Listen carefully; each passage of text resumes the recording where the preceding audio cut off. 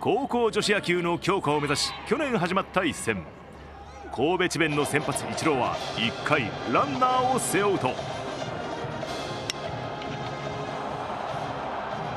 3番森崎の打球は右中間へ。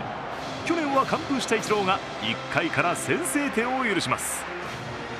それでも打線はチャンスで新加入の松坂大輔。レフトへタイムリーヒット。4番の一打にイチローも拍手を送ります。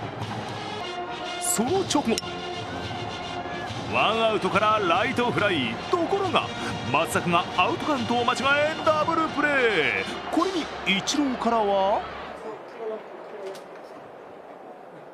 今度はお叱りを受けてしまいます。そのイチロー。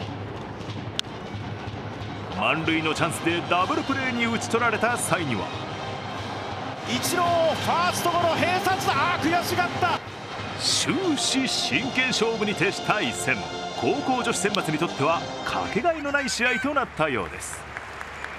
もう一生忘れられないというかこれ以上のものを得られるかわからないんですごいいい経験になりました女子高生たちにとってこのゲームが目標になるようなそういう取り組みでありたいと思っているので応援してくれたら嬉しいですね。ニュースディグ